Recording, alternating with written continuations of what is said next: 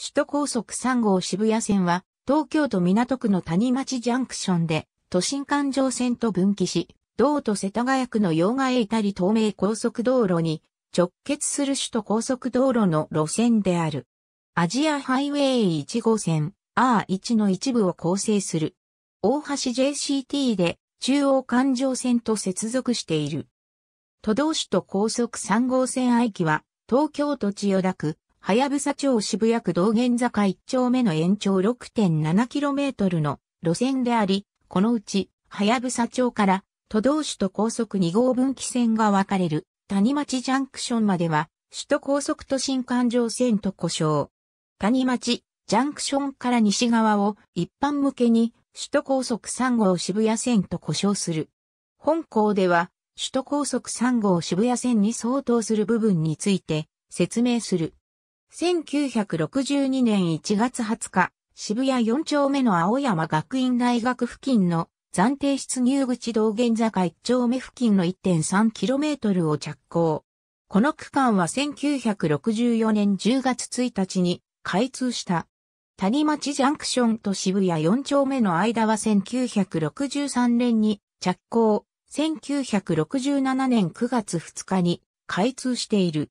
谷町ジャンクションから高木町付近までは、福音20メートルだった放射22号線を40メートルに拡幅する工事と合わせて、高架構造で建設された。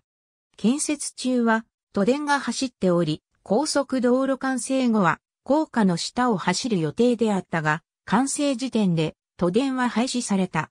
その名残として、高架の橋脚には、都電の河川用の金具が取り付けられていた。六本木交差点と西麻布交差点の間の地下には、日比谷線が通っていることから、地下鉄の構造物を地中張りでまたぎ、上部構造では、オイルを設けず橋脚で直接支える構造が採用された。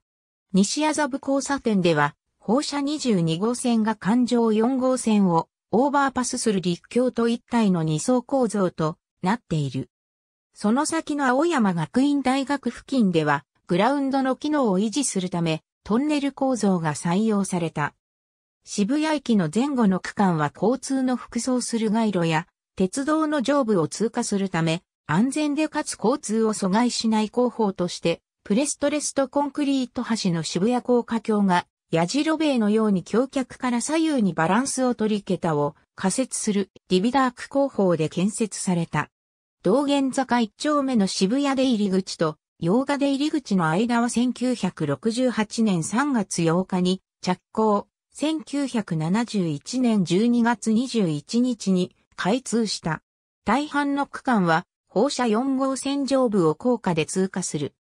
玉川通りは道玄坂と三軒茶屋の間の福音は40メートル、三軒、茶屋伊勢は30メートルに拡幅されていたため、中間の渋谷、池尻、三軒茶屋の三つの出入路はいずれも三軒、茶屋伊東に設けられている。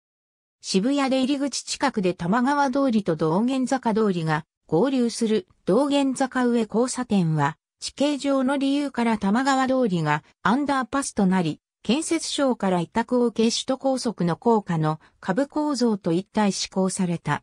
ここから世田谷区新町一丁目交差点付近にかけては路面電車の東急玉川線に代わり建設される東急新玉川線が地下に並行する。東急の地下鉄の区体を首都高速の基礎としており、同時施行の必要から株構造の一部は東京急行電鉄に施行を委託した。一部駅舎や新町交差点付近では首都高速道路公団が東急から委託を受け施行している。